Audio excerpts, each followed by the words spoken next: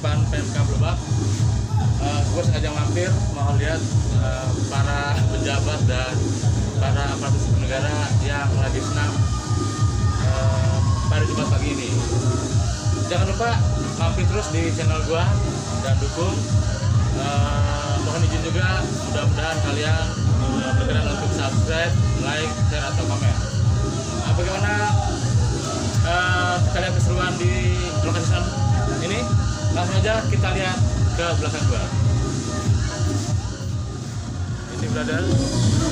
Kita lihat. Nah, ini teman-teman PKL dari para pelajar yang ada tugas di PMK Lebak. Nah, ini para ASN-nya brother.